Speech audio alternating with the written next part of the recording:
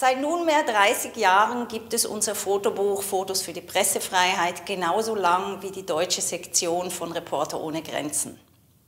Anlässlich unseres Geburtstags zeigen wir ausgewählte Fotostrecken aus den letzten zehn Jahren in Zusammenarbeit mit dem Zentrum für verfolgte Künste in Solingen unter dem Titel Keine Freiheit ohne Pressefreiheit.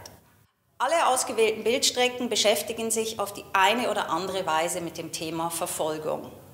Entweder weil sie Verfolgung im Bild thematisieren, so wie die Porträts bedrohter Demokratieaktivisten in Ägypten nach der Freiheitsbewegung auf dem Tahrirplatz, oder weil schon die Aufnahme der Bilder so gefährlich war, dass der Fotograf anonym bleiben musste, um Verfolgung zu entgehen.